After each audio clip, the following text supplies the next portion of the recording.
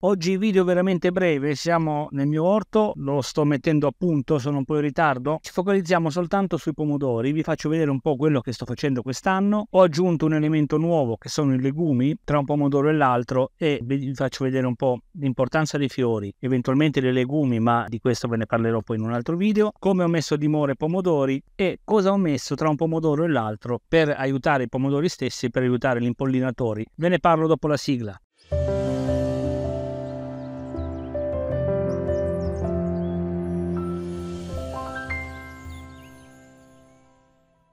Rieccoci sul canale, bentornati a tutti, sono Orso. Allora, questa è una delle mie prode di pomodori, anche quest'anno cercherò di mettere di mora un 100-120 piante. Ecco, guardate mi sposto un attimino. Queste sono le prime che ho messo circa 10 giorni fa, le devo ancora legare e contemporaneamente volevo soffermarmi su ciò che ho messo tra un pomodoro e l'altro. Questo sistema lo utilizzo già da qualche anno e in particolar modo vi parlo del tagete. Tagete è eccezionale perché questa pianta ha due anni, d'inverno tende a seccarsi, in realtà se l'inverno non è troppo rigido lei sopravvive e in primavera esplode, questa non l'ho più toccata, guardate cosa è diventato un cespuglio. Quindi ho acquistato altre 20 piantine di tagete perché non sono riuscito a fare di mio e le sto mettendo una ogni 5-6 pomodori. Però quello che vi volevo far vedere è ciò che si può mettere tra un pomodoro e l'altro. Ad esempio siamo qui. Qui ho una distanza tra un pomodoro e l'altro di circa 45 cm che è il minimo sindacale per poter mettere i pomodori. Allora io negli anni ho provato dai 40 agli 80 cm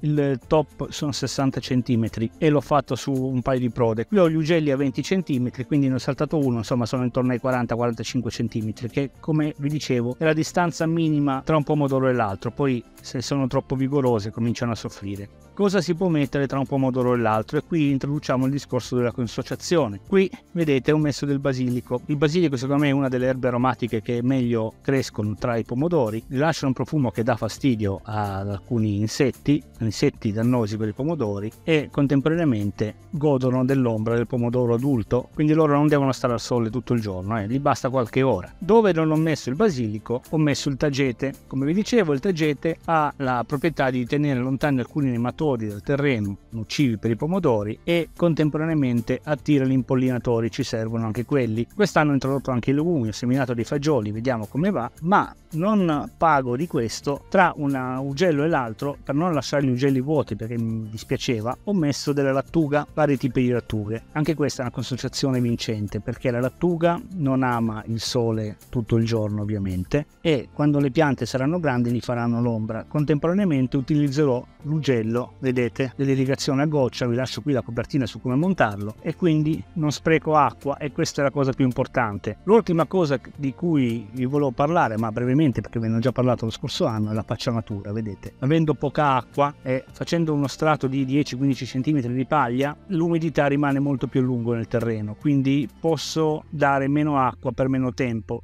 Allora tenete conto che io qui col mio terreno in estate, col eh, caldo torrido, io irrigo 20 minuti al giorno, non di più. E le piante vengono su, che è uno spettacolo. Lo scorso anno ho raccolto pomodori fino a novembre. Ora ci spostiamo, vi faccio vedere materialmente come metto a dimora i pomodori e come metto a dimora sia il basilico che il tagete. Dopodiché ci salutiamo. Ecco, vedete, sono qui in una proda che sto facendo in questo istante. Allora, piccola premessa, prima avete visto che in quella proda avevo messo anche la rete per i legumi. È un test che sto facendo. Voglio vedere come crescono i pomodori anche bloccandoli sulla rete dietro c'è sempre il fil di ferro ovviamente. Qui invece la rete non c'è, c'è soltanto il fil di ferro. Mano a mano che cresceranno metterò nuovi fili. Allora vedete, qui ho un uh, intervallo tra un uh, gocciolatore e l'altro di circa 35 cm, 40 cm. Quindi vi azzardo a mettere un pomodoro per ogni gocciolatore, però io contemporaneamente voglio mettere anche i fiori.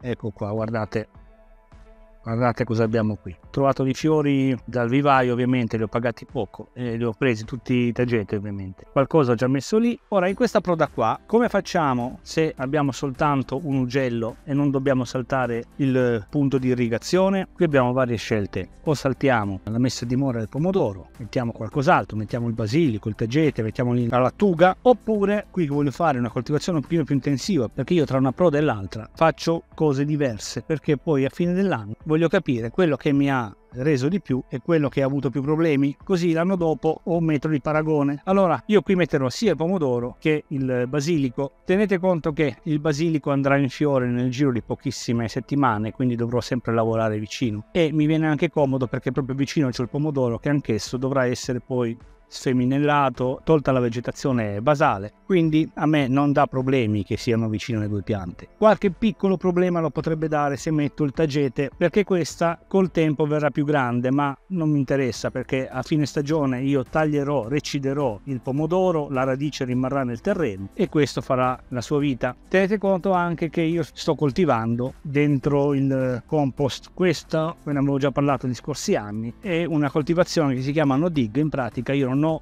arato il terreno, non l'ho toccato, non l'ho fresato, sotto c'è proprio il terreno con l'erba e sopra c'è questo cumulo di compost di un 15 cm. Quindi semplicemente per me comodo, faccio il foro con le mani, prendo il mio bel pomodoro, in questo caso sono due, le devo dividere, qui ci mettiamo il brandy wine, piano piano le dividiamo, vado in fondo, copro bene, sono più o meno all'altezza dell'ugello, tolgo la vegetazione che tocca a terra, tolgo eventuali femminelle che in questo momento non ho. Qui posso metterci qualcos'altro. Io ci metterò il suo bel tagete.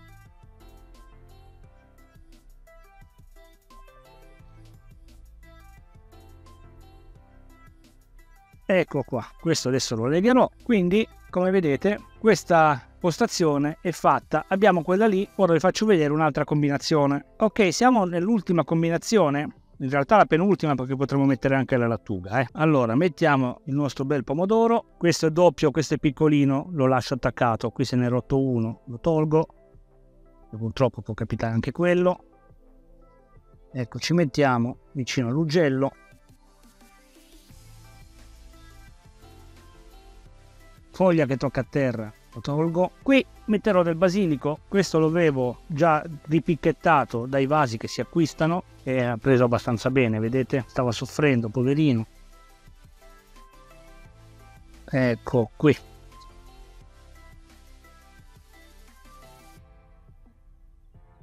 Già sta cominciando a godere dell'ombra del pomodoro, siamo ancora con le piantine piccole. Eh? Quindi qua come avete visto abbiamo pomodoro, basilico, pomodoro, tagete, pomodoro da solo e lì poi aggiungerò qualcos'altro in base alla mia disponibilità. Generalmente io metto o lattuga oppure appunto il basilico. Il basilico vi lascio qui in sovrimpressione la copertina del video che ho fatto lo scorso anno. Periodicamente lui vuole andare a fiore perché si deve riprodurre, quindi noi periodicamente i fiori li dobbiamo staccare e lui continuerà a produrre foglie. Alla fine della stagione quando avremo un bel cespuglietto di basilico lo possiamo raccogliere perché tanto l'inverno non lo passa e ci possiamo fare il pesto, possiamo congelarlo, possiamo fare mille cose. Bene, è tutto per questo video, ovviamente qui manca soltanto la pacciamatura, devo ancora terminare di mettere bene il tubo di irrigazione, insomma è un work in progress e c'è tanto da fare. Eh? Volevo solo farvi vedere un po' cosa si può mettere vicino al pomodoro durante il trapianto in pieno campo. Detto questo vi saluto, vi ringrazio per essere stati con me, lasciate un like se vi fa piacere, se non vi costa sacrificio volete iscrivervi al canale io vi ringrazio perché a voi non costa niente, è gratuito ovviamente, ma a me serve per capire che sto facendo cose a voi utili e non solo a voi